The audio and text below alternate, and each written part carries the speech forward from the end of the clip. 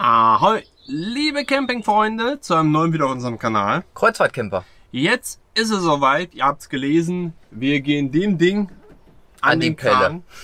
Und nicht nur den, äh, nicht nur der Sache, sondern noch mehr. Und wann geht's los? Nach dem Intro.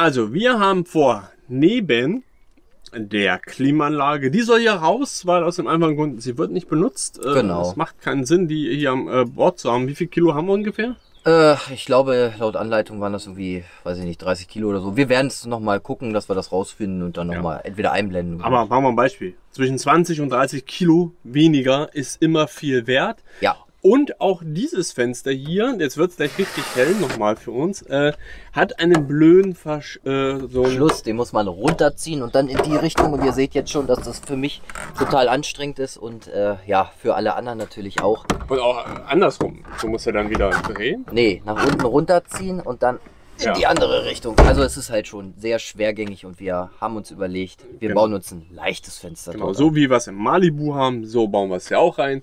Aber eins nach dem anderen. Und ich glaube, jetzt ist interessant, was für ein Material und was für ein Werkzeug alles so Genau. gebraucht wird. Dazu gehen wir jetzt raus, schauen uns das gemeinsam an, damit ihr das auch nachbauen könnt. Und wir nehmen euch mit dem gesamten Einbau natürlich mit. Ihr werdet Schritt für Schritt das sehen, wie wir die äh, ganzen Sachen ausbauen und die neuen Sachen wieder einbauen. So, äh, als allererstes müsst ihr euch ja entscheiden und ein paar Dinge kaufen. Und zwar geht es um das Dachfenster. Das Dachfenster gibt es mit einer Zwangsbelüftung als auch mit ohne Zwangsbelüftung.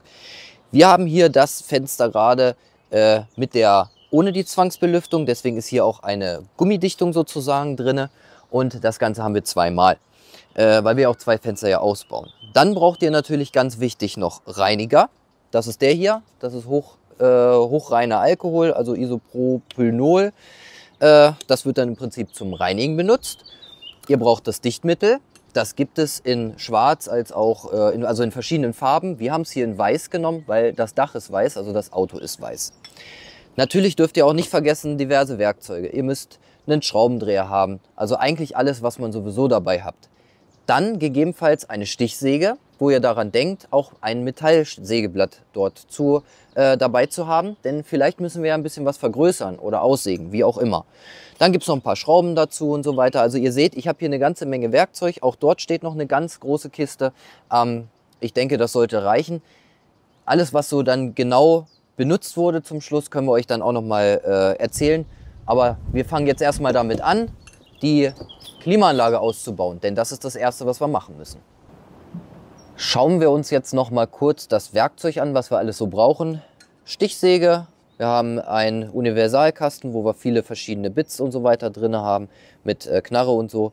Messer ist ganz wichtig, Ersatzklingen ist auch ganz wichtig. Dann haben wir natürlich Schraubendreher, Messwerkzeuge, da haben wir noch Isolierband, wir haben noch das Kreppband, die äh, Spritze logischerweise mit dem Sikaflex und zum Schluss natürlich nicht zu vergessen der Alkoholreiniger. Ganz wichtige Sache. Ja, und dann könnt ihr das Ganze relativ einfach äh, mit ein bisschen Fummelei natürlich, aber relativ einfach könnt ihr das dann bewerkstelligen. Zur Demontage beginnen wir jetzt einfach erstmal die Klappe hier von, dem, äh, von der Klimaanlage abzumachen. Das ist einfach nur so ein Luftverteiler. Äh, den kannst du einfach abziehen, das ist nämlich magnetisch. So, und jetzt müssen wir halt gucken, wie das Ganze hier rangebaut ist. Ich sehe hier schon diverse Schrauben und da werde ich mir als allererstes erstmal einen Schraubendreher holen, damit wir die alle losschrauben und dann geht das weiter. Kreuz. Kreuz. So, wir haben jetzt die Verkleidung hier abgemacht. Das ist die schwarze Verkleidung. Ähm, dann kam, kommt man an die Kabel ran, denn das ist ja wichtig, die abzuklemmen. Wichtig davor. Ihr müsst natürlich darauf aufpassen, Landstrom muss alles abgesteckt sein, denn wir wollen ja nicht, dass wir hier uns einen Schlag holen. Also von daher, da müsst ihr definitiv aufpassen. Das sind die Leitungen, die aus dem Dach kommen. Und das hier ist, was in die Klimaanlage selber reingeht. Ich habe das trotzdem nochmal isoliert, damit das äh, trotzdem die Kontakte nicht äh, korrodieren und so weiter. Also von daher, äh, genau. Jetzt werden wir hier Schrauben lösen und dann werden wir diese Klimaanlage wahrscheinlich schon vom Dach kriegen können. Was heißt, der Kasten, der kommt nach unten und nach oben nehmen wir die Klimaanlage einfach ab. Aber das gucken wir uns dann oben gleich an. Jetzt lösen wir erstmal die Schrauben. Die Schraube ist jetzt schon so weit raus und ich schraube übrigens immer noch. Also da hat man auf jeden Fall eine sehr lange Schraube genommen. Ich weiß nicht, ob die äh, denken, die haben hier irgendwie, äh, keine Ahnung, 50 Zentimeter Dächer, Dächer oder sowas. Ähm, ja, habe ich ehrlich gesagt noch nicht gesehen im Wohnmobil, aber okay. Also schrauben wir uns einen Wolf. Den Rahmen haben wir jetzt unten abgenommen. Wir haben die langen Schrauben rausgekriegt. Die Klimaanlage haben wir schon mal ein bisschen hochgedrückt. Das heißt, sie ist jetzt frei und man kann sie jetzt nach oben abnehmen. Das ist natürlich relativ schwergängig. Das heißt, man muss erstmal alles ein bisschen lösen. Und dann heißt das runterheben der Klimaanlage, denn die wiegt dann doch schon ein bisschen was. Also so mit meinen 30 Kilo komme ich glaube ich hin. Aber äh, genaueres werden wir dann noch später sehen. Wir werden die jetzt erstmal runterwuppen. Da seid ihr nicht dabei. Da brauchen wir unsere Ruhe dass das in, äh, vorsichtig und heile runtergeht. Und äh, ja, dann melden wir uns gleich wieder, wenn das Loch sichtbar ist. Ja, Loch ist im Dach. Ähm, Kabel hängt hier noch rum. Das ist natürlich das noch von dem Strom, was wir ja gesagt haben. Der Marcel der kann durchfassen, genau. Äh, dreckig ist alles. Äh, da kriege ich gerade meinen Reiniger. Das heißt, wir machen jetzt erstmal das Dach äh, sauber. Und dann, wenn das sauber ist, dann wird das schön alles äh, hoch rein gemacht. Ja, und dann werden wir schon mal das Fenster mal reinhalten, um mal zu gucken, wie es denn passt. Denn wir, uns fehlt ein Zentimeter. Das Loch ist ein bisschen kleiner, äh, als wir eigentlich gedacht haben, aber ist nicht schlimm. Notfalls müssen wir es ein bisschen größer machen. Aber dazu kommen wir gleich. Das Loch ist jetzt nicht ganz groß genug, das heißt, wir, uns fehlt ein Zentimeter, ne, war das? Ein Zentimeter. Zentimeter. Das heißt, wir werden das noch ein bisschen größer sägen. Die Holzlatten, die werden in die Seite weiter reingehen und dann machen wir das ein bisschen größer. Dann haben wir hier äh, den Rahmen. Das haben wir schon alles mir uns angeguckt. Das heißt, als erstes ist Ausschneiden angesagt, dann sollen die Holzlatten da wieder rein, so steht es hier auch drin. Und dann kommt dieses ähm, Fenster dort eingebaut. Aber das Fenster muss hier, müssen äh, diese Hülsen gekürzt werden. Denn das ist das im Prinzip der Abstand, wie hoch und schmal äh, das Fenster ist. Wenn ihr übrigens das Fenster kauft, gibt es das in zwei verschiedene Ausführungen. Einmal für das etwas dünnere Dach, das ist dieses hier. Wir haben hier 32 oder nee, 33 mm Dachstärke. Und dann gibt es noch welche, die sind noch größer, die gehen bis 60 mm Dachstärke. Da müsst ihr halt aufpassen, denn ab 43 mm äh, müsst ihr das größere Dach nehmen. Oder beziehungsweise das andere, den anderen Rahmen dann. Also das heißt, das ist dann extra zu kaufen. Da müsst ihr aufpassen. Ja, wir werden jetzt hier die Dinger noch abschneiden, kürzen und also für das Dach anpassend äh, kürzen. Und dann heißt das da oben noch sägen. Das seht ihr aber gleich. Ich habe ja gesagt, wir müssen noch was anzeichnen. Das heißt, ich habe mir den Rahmen ein bisschen vergrößert. Das Kabel habe ich äh, hier auf der rechten Seite, wo es auch rauskam, habe ich es im Prinzip äh, Leiste raus, bisschen äh, die äh, Isolierung noch raus, damit wir das Kabel dahinter verstecken können. Das ist also im Heilen dort hinter geblieben. Habe die Leiste wieder reingeschoben, auch ein bisschen weiter reingedrückt. Und äh, ja, äh, wie man hört, die Säge fängt schon mal an fast zu laufen, hätte ich gesagt. Hier läuft sie oder hier ist sie. Und wir fangen jetzt an mit einem Sägeblatt, HSS-Sägeblatt, natürlich Metallsägeblatt, ähm, das Ganze ein bisschen zu erweitern.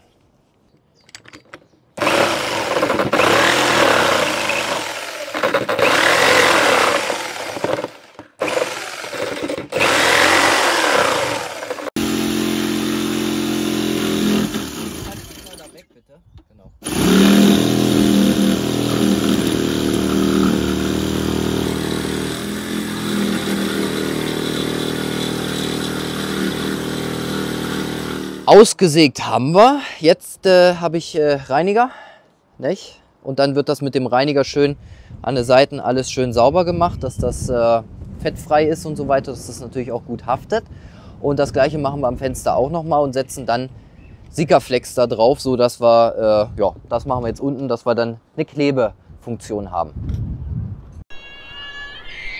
So, alles ist jetzt äh, fettfrei. Jetzt haben wir die Tube sozusagen etwas gerade geschnitten und haben dann äh, so eine V-Form dort eingeschnitten. Denn man soll einen kleinen Hügel dort bilden, das kann man damit dann ganz gut. Und jetzt heißt das halt einmal dran lang an diesem, in dieser Rille. Und das machen wir jetzt, dass wir dort eine Wulst bekommen. Jetzt müssen wir mal warten, bis das Sikaflex kommt. So, jetzt geht's los.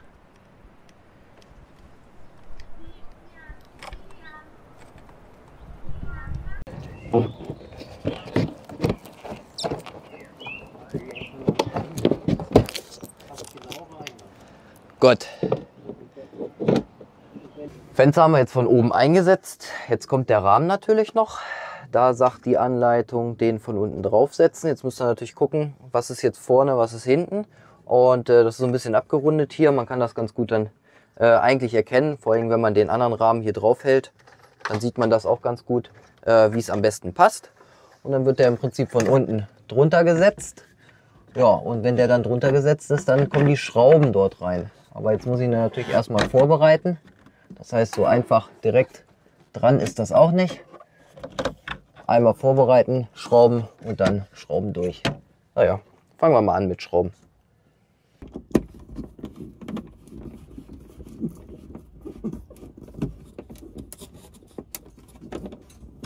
Das Gewicht erst. ja, da könnt ihr ja noch mal 30 Kilo mehr mitnehmen. Ja. Der Rahmen, den haben wir jetzt angebaut, natürlich über Kreuz angezogen. Äh, das sollte mit 1,5 Newtonmeter angezogen werden. Jetzt ist, sehen wir oberhalb auch, dass so ein bisschen das Sikaflex rausgeht. Das heißt, äh, wir haben dann im Prinzip auch eine Dichtung da drauf. Ähm, jetzt geht es auf den inneren Rahmen. Da sind hier so eine markierten Punkte, die blenden wir mal auf dem Foto ein. Äh, Im Prinzip hier vormarkiert und da setzt man im Prinzip diese kleinen Teile hier ein. Das sind diese Haken, die dann im Prinzip einfach zum Einklicken hier an den Seiten äh, eingerastet werden. Ja, das war es eigentlich dann schon und äh, dann ist das Fenster komplett eingebaut. Der Rahmen ging ganz einfach drauf, der sitzt jetzt halt drauf. Jetzt hast du halt Fliegengitter auf der Seite und zur anderen Seite haben wir die Verdunklung.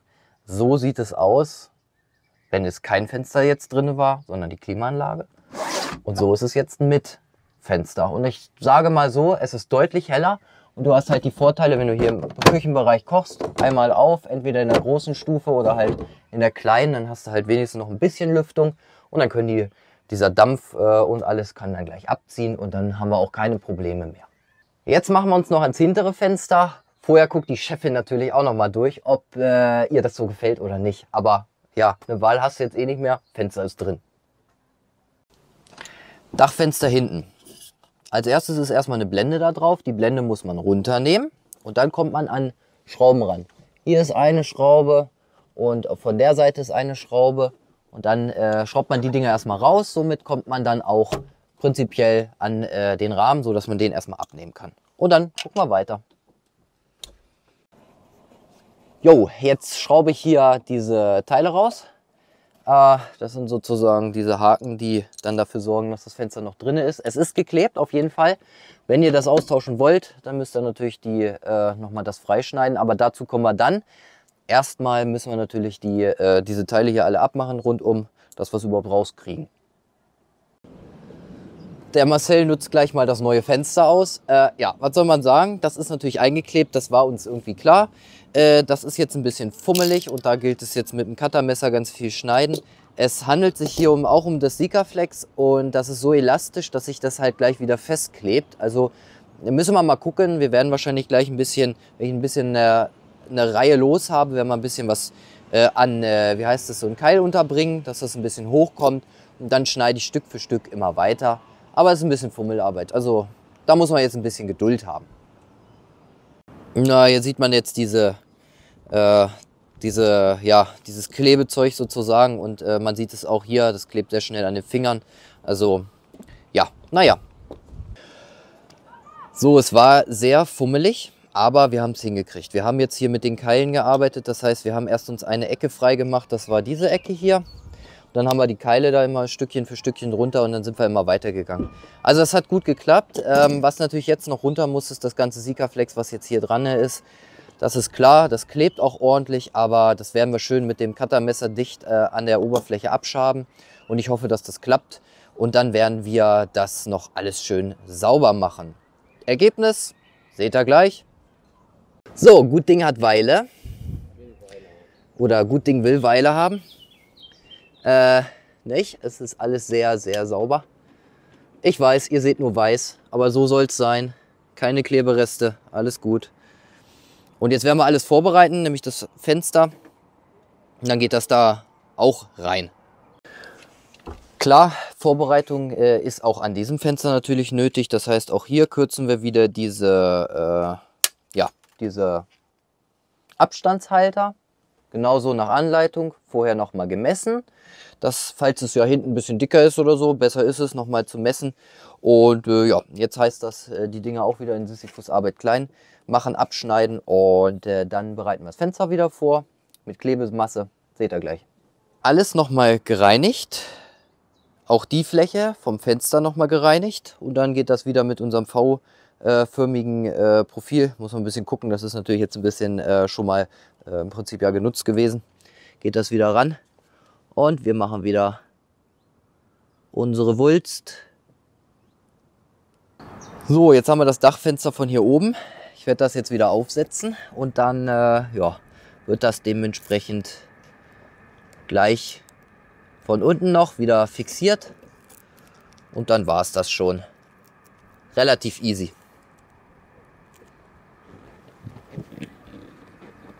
Einmal wieder geschaut, ob alles äh, richtig drinne sitzt. Das tut es. Jetzt setze ich nur ein paar Schrauben an. Ähm, das heißt an jeder Ecke erstmal eine. Natürlich auch über Kreuz. Und dann wird das wieder angeschraubt, festgeschraubt, festgezogen. Ja, dann ist das auch dicht.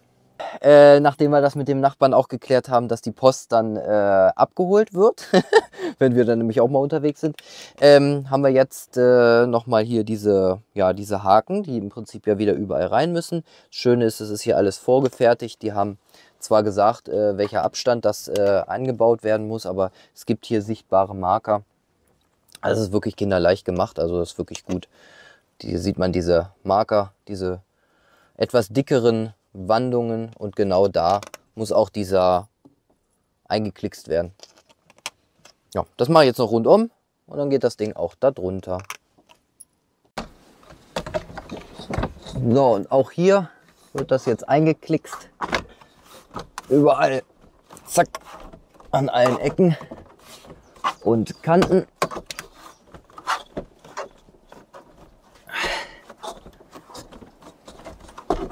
Und dann lässt sich auch hier Fliegengitter bewegen und natürlich auch zumachen.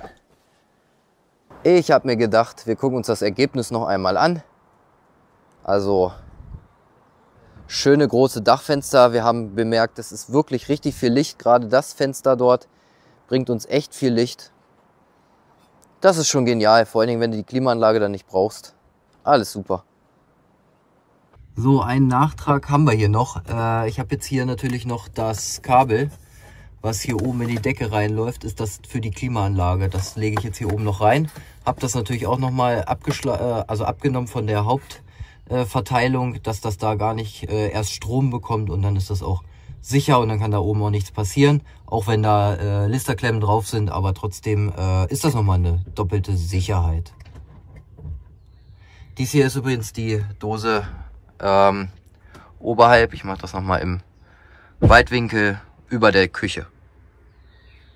Hell wurde es hier. Wenn ich überlege, wenn ich hier früher gestanden habe, hatten wir es immer sehr, sehr dunkel und man sieht hinten ist auch noch sehr hell. Und also, gerade scheint nicht die Sonne rein. Also es ist wirklich nur normale, also wir stehen im Schatten. Das Auto steht im Schatten. Genau. Ein schattiges Plätzchen haben wir hier. Jetzt ist natürlich die Frage, was hat das hier eigentlich gekostet? Das ist ja eigentlich äh, ein komplettes Set, ne? Oder ist genau. Das, das äh, Fenster ist ein komplettes Set. Das gibt es, wie gesagt, als äh, entweder äh, für diese Zwangsentlüftung oder halt ohne. Hier sind zwei Fenster ohne drinne und äh, ja, genau. Was hat es gekostet? Ich habe es nicht im Kopf, müssen wir es einblenden. Ja, so zwischen, also weniger als 200 Euro auf jeden Fall. Ich glaube knappe 120. Aber es ist eingeblendet. Ja, ich glaube, damit äh, haben wir Teddy auf jeden Fall äh, leichter gemacht. Aktuell, wir, wir haben durchgemessen, äh, 30,9 Kilo wiegt so eine. Äh, ja, mit dem Geraffel noch, was im Prinzip von unten dran war, 31 Kilo. Also alles gut. Wenn nicht sogar noch ein bisschen Oder 31,5, vielleicht 32 Kilo. Auf jeden Fall sehr, sehr, sehr viel, was man sich dadurch einsparen kann. Und wie gesagt, man nutzt es nicht wirklich. Es gibt welche, das kann ich nachvollziehen, wenn man Hunde hat äh, und unterwegs ist, dann ist so eine Klimaanlage schon ganz gut. Aber dann muss man sie nutzen. Wenn man sie nicht nutzt, ist das viel, viel mehr wert. Ne, von der Küche, hier wird gekocht, hier geht der Dampf sofort hoch. Genau. Besser kann man es sicher. Klimaanlage wird jetzt verkauft. Genau. Und äh, ja, das heißt, äh, müssen wir noch einen Käufer versuchen, aber das werden wir schon finden. Genau. Ähm, weil also. die ist noch gut, wir haben sie getestet, die läuft, alles ist wunderbar. An dem Kreislauf mussten wir ja nicht ran, es ist ja nur anschließend an Strom und mehr ist es ja nicht mehr von der Klimaanlage. Genau. Ja. Also, wie gesagt, äh, könnt ihr mal gucken, äh, gesagt, falls ihr Interesse habt, äh, nur selbst abholen, ne? Genau. Wird nicht verschickt, aber falls ihr Interesse habt. Äh, ihr müsstet die bei Peine abholen. Genau, wir können ja mal gucken. Ich glaube, bis das Video online gegangen ist, ist sogar vielleicht der Link von den eBay Kleinanzeigen, glaube da wird es reingesetzt. Genau, online oder so. Da Hm? könnt ihr einfach mal schauen. Falls ihr Interesse habt, wenn nicht, ist nicht Problem. Wir werden es irgendwie, werden wir das Ding schon los. Wir werden uns natürlich über berichten lassen, denn dieses Fahrzeug geht schon wieder auf Reisen ohne uns. Ne, Die Schwiegereltern fahren wieder los und äh, sogar in windigen äh, Gefilden, Genau. wo es auch vielleicht das eine mal regnen kann. Da werden wir einfach mal überraschen lassen, was passiert. Mhm. Also ich denke mal, ähm, eigentlich hat es ganz gut gemacht. Ja.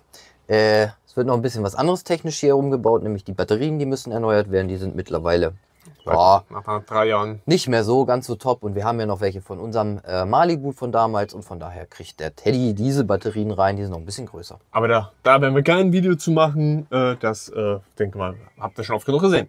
Das soll es gewesen sein. Ich hoffe, ihr konntet es ein bisschen nachvollziehen. Äh, es ist relativ einfach äh, nachzubauen. Wir gucken jetzt mal auf die Uhr. Naja, Also für beide Sachen Zwei Stunden? Ja, ein bisschen mehr, würde ich naja. schon sagen. genau. Ein bisschen äh, herholen, ein bisschen aufräumen und so weiter. Drei Vielleicht Stunden. zweieinhalb, drei Nee, Stunden. macht drei Stunden, dann Gut. seid ihr gut auf der Zeit. Gut, das soll es gewesen sein. Bleibt uns gewogen, bleibt gesund und dann sehen wir uns schon bald wieder beim neuen Video auf unserem Kanal. Kreuzfahrtcamper. Ciao, ciao. Tschüss.